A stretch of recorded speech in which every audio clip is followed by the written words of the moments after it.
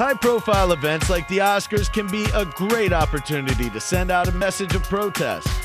But as Emma Watson learned, it can help to proofread your message first. She took to the Vanity Fair after party with a fake tattoo to show her support with the Time's Up movement. Only problem is it missed a crucial apostrophe. She then made light of the situation by taking to Twitter and offering a fake tattoo proofreading position, but experience with apostrophes is a must.